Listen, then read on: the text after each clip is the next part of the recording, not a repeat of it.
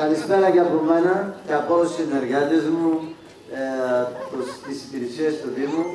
Ε, θέλω να σας ευχαριστήσω όλους για την παρουσία σας εδώ. Να ευχηθώ υγεία και ευτυχία σε όλους και το 24 ό,τι καλύτερο για όλους μας. Εμείς θα είμαστε δίπλα σας από όποια πλευρά ευθύνης κι αν είμαστε για να κάνουμε ό,τι καλύτερο μπορούμε και για αυτόν τον ευλογημένο τον τόπο όλης της πόλης, αλλά και τη Σταυρούπολη ιδιαίτερα, αλλά και τον υπέροχο κόσμο που εκπροσωπούμε. Να είστε καλά, καλή χρονιά και υγεία.